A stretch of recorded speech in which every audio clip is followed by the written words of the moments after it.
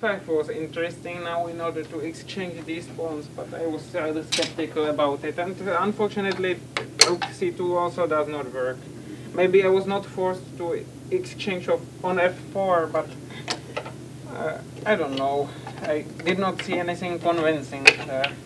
Now rook b8 is not a real realistic winning attempt, and there is no mate after g5, king f5. This pawn, is, this passed pawn will be very strong if black takes here and white takes on b7. So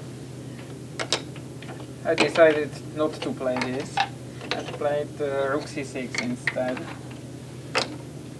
And now uh, Radek should have played uh, rook b3, or this is at least what I think about the position, but uh, okay black remains a bit more active, but it is difficult to improve this position because the king is not playing yet. And if black could exchange one pair of rooks, it would have been advantages for him, but I don't know how to do that actually. Uh, he played rook d1, which is not a bad move either. So the, this pawn is on another square, I'm sorry. Okay, I, perhaps on g4. Yes. Can it be on g4? Mm, looks like not. Okay. Maybe. I'm fairly sure that it's not here. Or maybe it is, I, I don't know really. Okay, so maybe it is after all. Okay, so rook d1, rook f6 check. After king g5, black can even play the flashy move uh, h6 because it's impossible to take the rook. There's a very nice mate now. So, and if white retreats his king, then I can take the pawn, and if he takes on h6, then, then I can take here.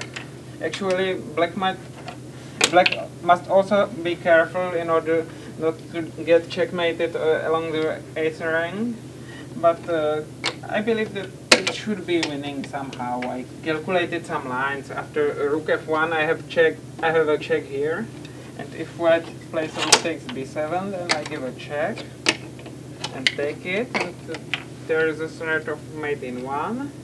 So h6, h4, check. King rook h3. Yeah? It's all over. Yes, if white takes here, then I take b7 and then there is mate in 2 for example. I take here and here. This was fine but uh, of course Radek did not go for this. And he played king g3 which is probably still correct. And uh, black has some edge but I believe the endgame to be defensive. Without any major problems. So king g3. Now I grab the pawn, rook takes b7, and the rook e5. That's the point, actually. What was Still short of time? Uh, sorry? Pawn is still on h2. Thank you very much. Yes, uh, and the rook uh, was still on d1. So after I took here, he played rook d7, and I played rook e5, and only now rook b5. That's the point. Uh, so uh, might have missed something around here.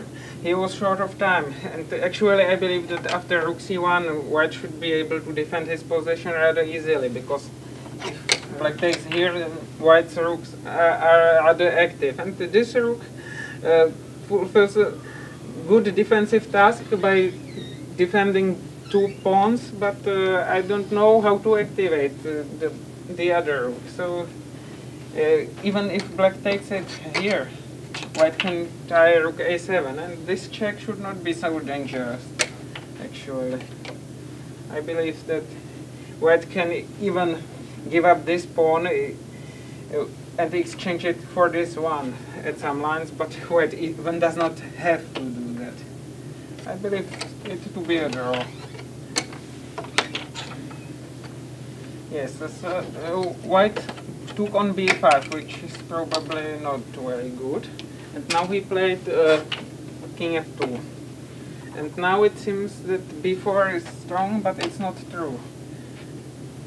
actually, I'm not sure at which time did he give a check on b8, uh, because he could have given it uh, at any time. So I believe that game f2 was played first, and b4 um, was not played because, uh, sorry, b4 was played really, but rook e6 is not good because now white can save a draw by playing d7, king e3, b4, king d4, b3, king c5, b2.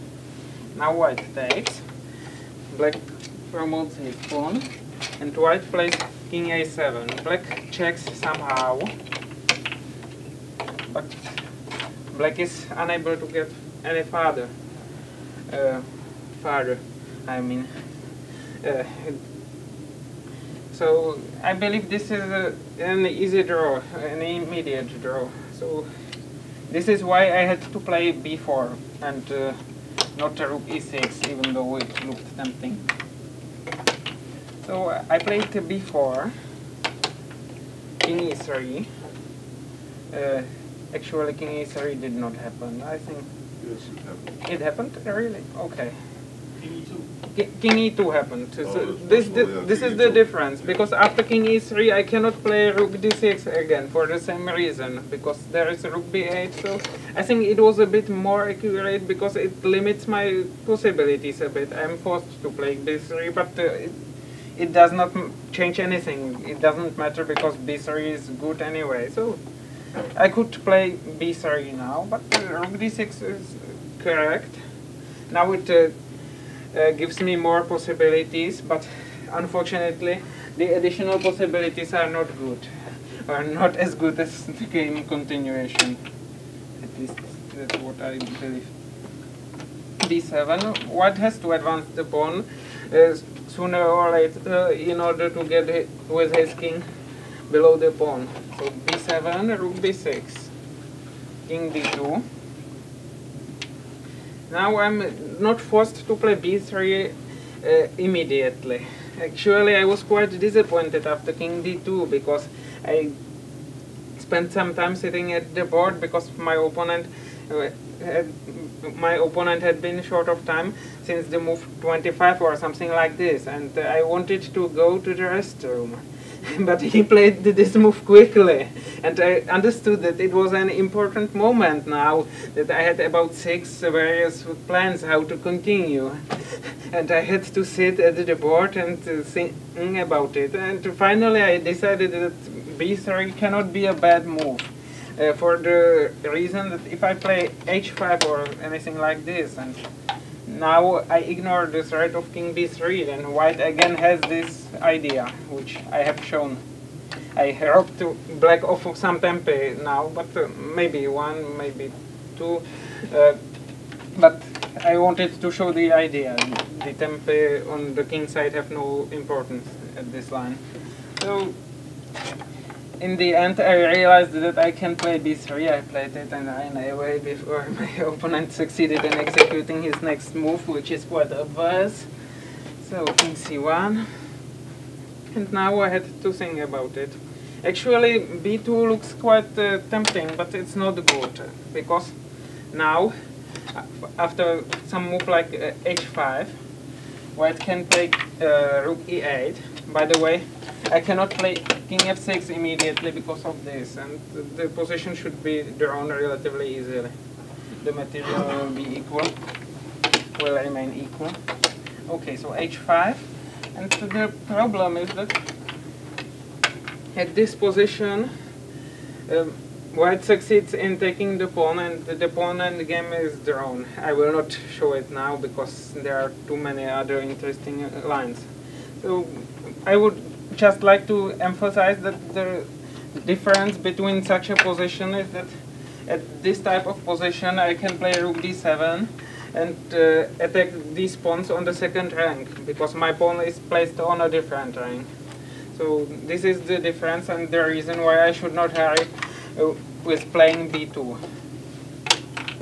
Actually the endgame is quite complicated and uh, I believe that h5 was a correct des- decision.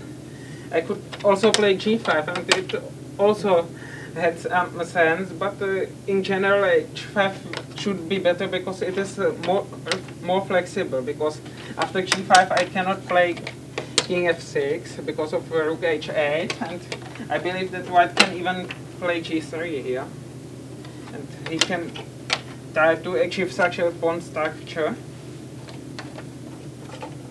And now uh, maybe f5 works here. Uh, actually, I haven't considered it, but I I had such a position in mind, and uh, this should be a draw because white just waits, and uh, black cannot improve his position.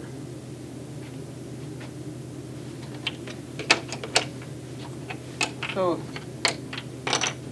this was not the best way how to play it actually. Um, so I played h5. Uh, and my idea was to push h4 ev eventually, but I was not sure about the objective quality of this move. So after king b2 I probably would have spent some 20 minutes thinking because I have three possibilities here. King f6, uh, g5 and h4. Uh, in fact, black should try to keep this pawn on f7 because uh, after rook f8 it is defended and I can safely take uh, on uh, b7, I mean in lines like this. But the problem is that if I try to advance my king, I can sometimes finish in such a position which might even be lost. I think it is a draw now, but there is quite an unpleasant breakthrough. And I probably have to give up, uh, I definitely have to give up the rook, because this loses, because why has a rook h8, rook takes b7, rook h7 check. So this was one of the many problems with the position. And actually I believe that g3 should suffice for a draw, but I'm not sure. I don't even remember what I calculated here, and I missed the idea of f5. I only spotted it later. So I'm not entirely sure about the quality of this move, but it looked preferable to me because even if white does not hurry with uh, playing h4, he can try something like this, and now h4 somehow does not work because white can take it and play rook d8, rook d4, and regain this pawn.